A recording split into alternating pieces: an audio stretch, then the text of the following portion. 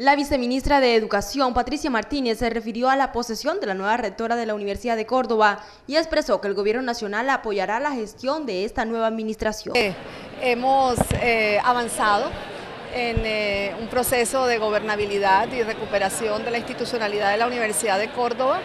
Em, creo que ha sido una experiencia de crecimiento para todos, de maduración de la democracia y en este momento pues sí hay eh, mucho regocijo con relación a la confirmación de, del fallo del juez para la confirmación de la rectora. ¿Apoyo total por parte de todo el gobierno eh, nacional? En este momento cuando ya eh, las disputas electorales naturales se superan, creo que nos compete a todos rodear a la persona que ha resultado la ganadora en la contienda y en este caso la doctora Alba Durango cuenta con todo nuestro apoyo y por supuesto de todo el Consejo Superior de la Universidad. El mensaje de la viceministra es que todos los estamentos de la universidad se sumen al nuevo liderazgo de la rectora.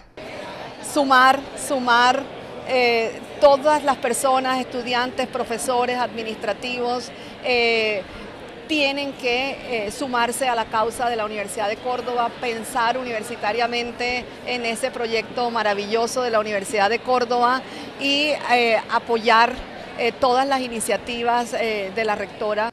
El ex rector encargado recientemente de la Universidad de Córdoba, Giovanni Argel, reiteró su apoyo incondicional a la rectora Alba Durango Villadiego y expresó que defenderá esta administración como suya y que trabajarán arduamente por recuperar el déficit financiero que hoy tiene la institución. Y trataremos pues lo máximo, eh, eh, Dios mediante, y si nos deja también eh, todos los actores externos que están de una u otra forma influyendo, de sacar un buen plan de desarrollo, un buen presupuesto antes del 5 de diciembre, la constitución del Fondo de Concurrencia para el Pasivo Pensional y trazar las nuevas estrategias de acuerdo al programa de gobierno que ha trazado o que ha definido la doctora Alba Durán.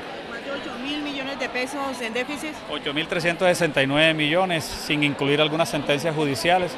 Eh, creemos que eh, antes de finalizar el año, con algunos aportes presupuestales que estamos gestionando, la austeridad, y en la transferencia de unos recursos desde investigación y desde el fondo de estampilla podremos subsanar el déficit, pero pasaremos eh, cercano a unos 2.300, 3.000 millones de pesos para el próximo año. No vamos a estar saneados 100%.